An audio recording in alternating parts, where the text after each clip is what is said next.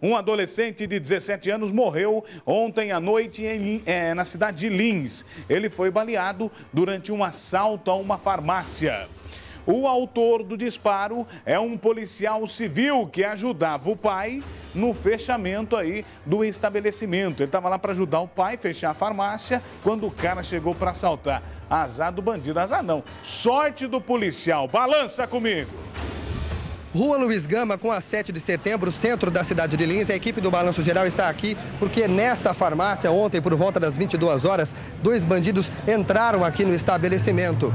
Eles anunciaram um assalto, só que o que ele não contava é que do lado de lá estava um policial civil. Do outro lado do balcão estava um policial civil que auxiliava o pai no fechamento aqui da farmácia, que pertence à família. O policial estava bem aqui, do lado de cá, o policial sacou a arma, deu voz de prisão para o bandido que fez menção bem aqui, um adolescente de 17 anos. Todo esse procedimento foi acompanhado pela Corregedoria da Polícia Civil aqui de Lins e de Bauru e, evidentemente, será é, encaminhado ao Poder Judiciário, ao Ministério Público, mas a gente acredita, tendo em vista que a ação dele foi uma ação natural, de que esse expediente, este inquérito, deva ser arquivado.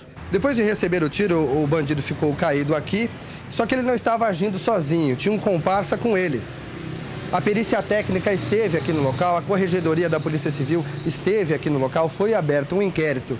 E este outro bandido que estava, juntamente com o que foi morto, acabou deixando bem aqui um par de chinelos. A polícia, através desse par de chinelos, vai tentar identificar quem é o outro bandido. Evidentemente que nós já estamos trabalhando nisso, nós temos duas equipes a campo, no sentido de fazer todas as diligências para identificar essa pessoa. Tá aí, né? Olha, eu, eu já tenho aqui é, uma proposta até é, é para a instituição polícia, seja de qualquer denominação, de que quando o policial civil, no caso, né, matou um bandido, ele tem que ganhar uma comenda né? Uma medalha de honra ao mérito. É lógico que tem que abrir um inquérito, mas eu sou, eu tô com um delegado ali, com o doutor ali. Olha, isso aí vai ser, aqui, creio eu que o Ministério Público arquive esse inquérito. É, e o, e, o, e o policial civil, assim como o militar, como qualquer outro que mata um bandido, tem que ganhar uma comenda de honra ao mérito, uma medalha e ganhar uma arma nova. Porque ninguém, a sociedade não aguenta mais ser estuprada.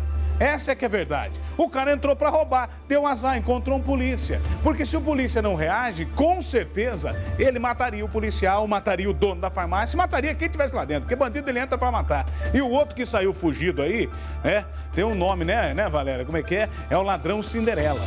Né? Larga o sapatinho, agora a polícia está no encalço, não tem jeito. Vai pegar, porque o trabalho da polícia é sério.